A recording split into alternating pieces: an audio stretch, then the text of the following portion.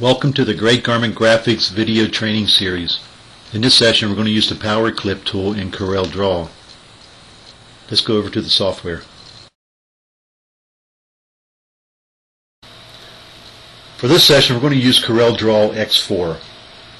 We're going to power clip a scene inside lettering. You can achieve the same thing in earlier versions of Corel. First thing we're going to do is import a, a picture. In this case, we're going to import a picture of New York City.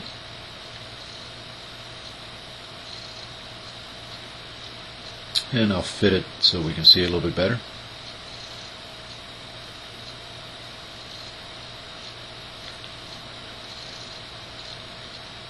Now we're going to type in the word New York.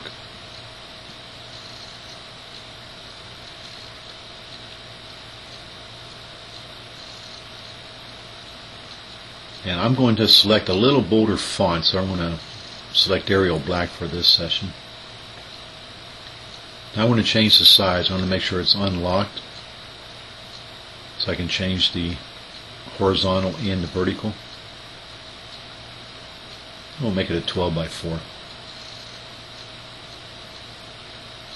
and place it over the picture.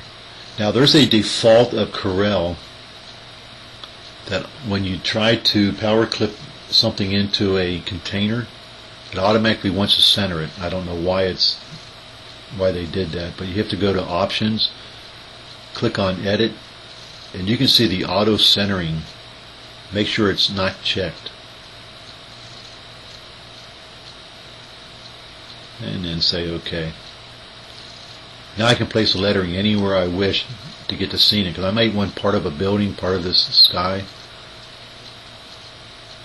And for this session, what I'm going to do, I'm going to go to my outline pen.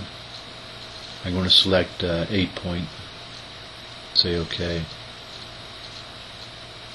And I am going to delete the inside out so I can see the actual scene be behind the lettering.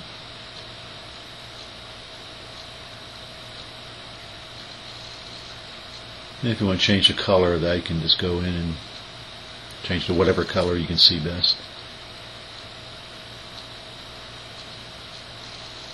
Now I can position it over the scene anywhere I wish. Take my directional arrows and fine tune it. Again, I may want to get a certain building in there, a little bit of the sky. I'll select the scene, go to Effects, Power Clip, Place Inside Container, click the lettering. So now we have our New York skyline in the word New York. So play around with a little bit, uh, try different containers, and if you have any other questions, you can give us a call.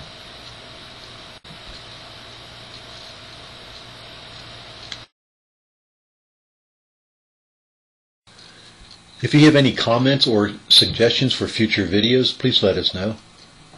Also check for a Great Garment Graphics seminar in your area.